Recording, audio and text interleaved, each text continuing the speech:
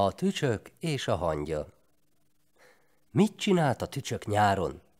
Csak muzsikált hét határon. Aztán jött a tél a nyárra, s fölkopott a koma álla. Szomszédjában élt a hangya. Éhen ahhoz ment panaszra, s arra kérte, egy kevéske búzát adjon neki térre. Búzát? szólt a hangyasógor. Már ez aztán sok a jóból. Tél elején sincs búzád már. Hát a nyáron mit csináltál? Mit csináltam? Kérem szépen, muzsikáltam, szólt szerényen tücsökmester. Aki kérte, nótát húztam a fülébe. Nótát húztál, ebugatta.